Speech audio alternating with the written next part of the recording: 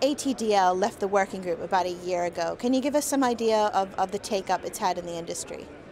Well, I mean, I, I think it's kind of hard to get a, get a good answer to that. But I can say for my firm at American Century, we, last year, you know, I was at this conference when FIXatdl 1.1 was just released, and we went through and said that we were going to ask all of our brokers to go through and provide their, their files in FIXatdl, and we did that last year. And um, you know, we've got all all of our brokers have given us files, and I've converted all of my brokers onto FIXatdl. So from an American Century standpoint, I have 100% penetration.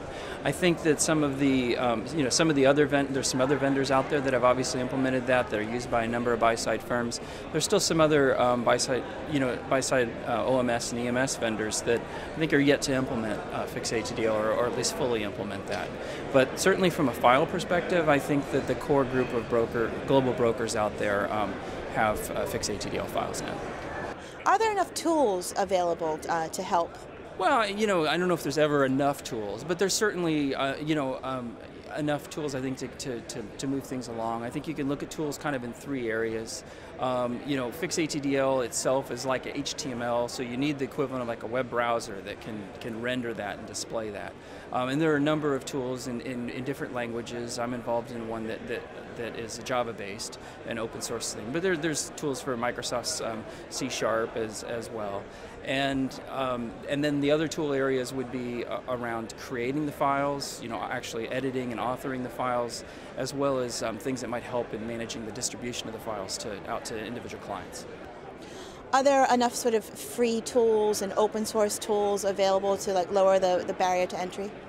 Yeah, I mean, there, there's certainly several reference implementations out there. So I, I, think, you know, just like in the early days of, of uh, web, HTML and, and, web browsers, you know, if you were going to create a, a, web page, you would test it on Netscape, and you would test it on Internet Explorer, you would test it on Mozilla. Obviously, these days, you'd also test it on Safari and, and, and, and um, uh, Firefox and, and, a number of others. So um, there's certainly some reference implementations that are out there that I think help um, help move the process along. The key thing is the supplies there, the files are there uh, for the most part. I think brokers have the files.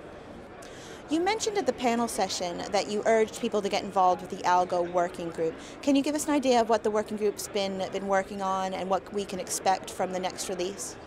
I think that you could kind of look at the things that we've been working on post 1.1 in, in three areas. One has really been about trying to get the word out and bring up adoption. We spent a lot of time last year. I spoke at a number of events, did some training sessions uh, around that, as well as a number of other people have done that.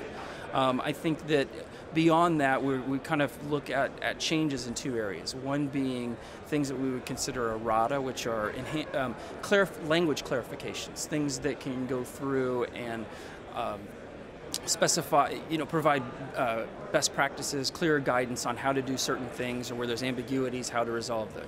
They don't change the specification, but they help people understand how to implement the specification. Uh, we released an errata uh, recently, we have another one coming. It doesn't, it doesn't fundamentally change. Beyond that, we're also looking at and, and sort of evaluating different ideas for other enhancements that, that we could add to the specification. It's still pretty early days for that, so we don't have a timetable for when another version is going to be released.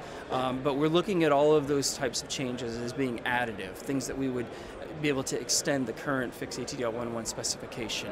Um, so, you know, people that implement with Fix ATDL 1.1 should be able to pretty easily migrate to support those those other features. But I think that they're probably going to come either in more advanced user interface areas or in things that, that facilitate more complex um, order order strategies, multi, multiple legs, uh, basket type type strategies.